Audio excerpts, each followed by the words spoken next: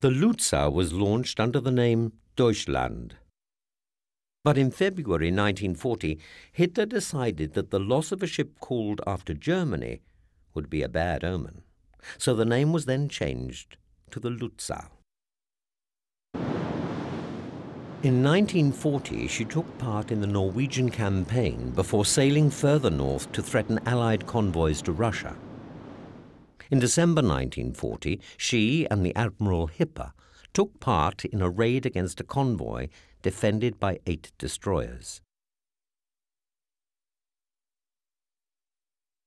The destroyers put up a formidable defense in what became known as the Battle of the Barents Sea.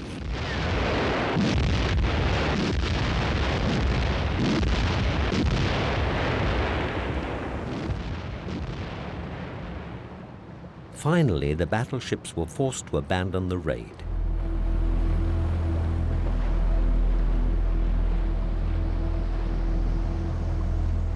Hitler was furious at such a disappointing performance and threatened to disband the Navy altogether. Relations between the Fuhrer and his Grand Admiral had reached breaking point. Raeder resigned and was replaced by Admiral Dönitz.